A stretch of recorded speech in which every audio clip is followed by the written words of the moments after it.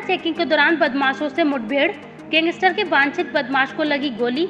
एक पुलिसकर्मी भी गोली लगने से घायल। जनपद संबल के असमोली थाना क्षेत्र के सकतपुर गाँव के चौराहे पर वाहन चेकिंग के दौरान पुलिस और बदमाशों के बीच मुठभेड़ हो गई। मुठभेड़ के दौरान एक बदमाश शमीम पुत्र कल्लू गोली लगने से घायल हो गया।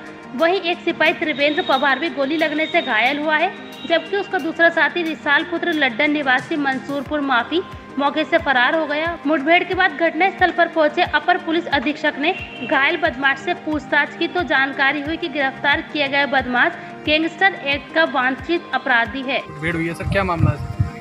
ये आज असमौली थाना क्षेत्र में असमौली चेकिंग कर रहे थे सकतपुर तिराहे पे। दो बदमाश जो है मोटरसाइकिल से आते हुए संदिग्ध रूप में दिखे। इनको रोकने का प्रयास किया गया तो ये पुलिस पर फायर करके जो है भागे। पुलिस से इनकी जो है मुठभेड़ हुई। जिसमें एक बदमाश जो है समीम और कल्लू ये मंसूरपुर माफ़ी का रहने वाला है। घायल हुआ है जिसको इलाज के लिए अस्पताल भिजवाया गया एक सिपाही को भी गोली लगी है हाथ में उसको भी इलाज के लिए अस्पताल भिजवाया गया है। आगे कार्रवाई की जा रही है विधिक कार्रवाई। क्या बरामद हुआ है? इनके पास ये एक मोटरसाइकिल है तमंचा है और ये कारतूस है कुछ जो है जो बरामद हुए हैं।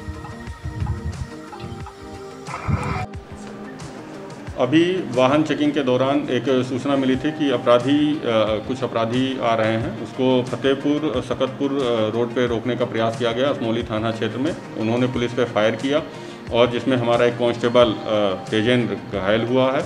और इसी काउंटर फायरिंग में एक अपराधी शमीम को गोली लगी है, दोनों को हॉस्पिटल भेजा गया है। जब इनके बारे में जानकारी की गई तो पता चला कि ये गैंगस्टर एक्ट का वांछित अपराधी थाना असमौली से था और ये क्षेत्र में लगातार अपराध कर रहा था। इसका एक साथी अभी मौके से फरार है, जिसके लिए अभी काम्बिंग जारी है। क्षेत्र में कॉम्बिंग की जा रही है और मुठभेड़ के दौरान समीम गिरफ़्तार हुआ है और इसके पास से एक मोटरसाइकिल और तमंचे बरामद हुए हैं। खोखा कारतूस बरामद हुआ है। इसके आधार पर मुकदमा लिख के विधिक कार्रवाई की जा रही है।